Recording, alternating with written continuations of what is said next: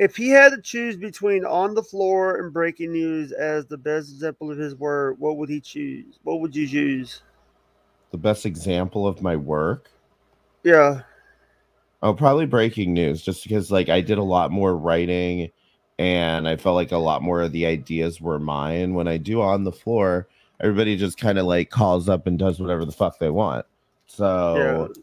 You know, and that's that's one thing that uh, you know I, I I don't mind that chaos to an extent.